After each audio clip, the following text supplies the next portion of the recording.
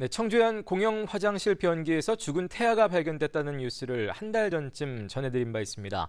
아, 누가 그랬는지는 여전히 오리무중인데 경찰은 그대로 수사 종결을 검토하고 있습니다.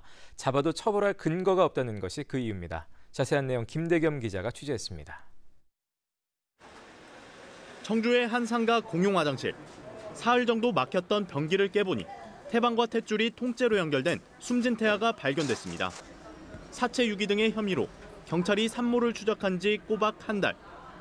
주변 CCTV에서 아무 단서도 찾지 못한 채 경찰은 이대로 수사를 접는 방안을 검토하고 있습니다.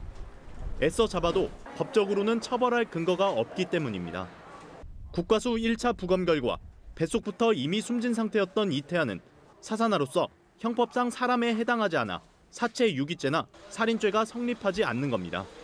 살인죄나 아, 사체 유기죄의 경우에는 객체가 사람이어야 되는데 사산화의 경우는 아, 사람이 아니기 때문에 아, 객체가 될 수가 없습니다.